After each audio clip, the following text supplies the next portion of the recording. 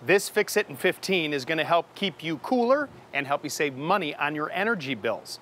Now this is a condensing unit. You can see that fan running is part of your central air conditioning unit. It's what works the hardest to keep you cool and uses the most energy.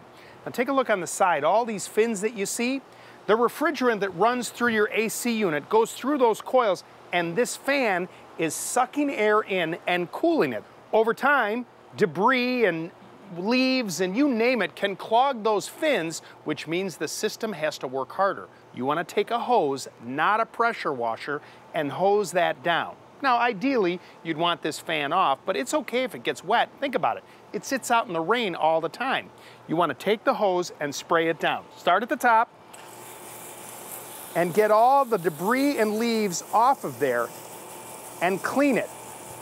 You'll actually be cooling your house down a lot quicker as you're putting the cold water on here because the system's gonna work a little bit easier.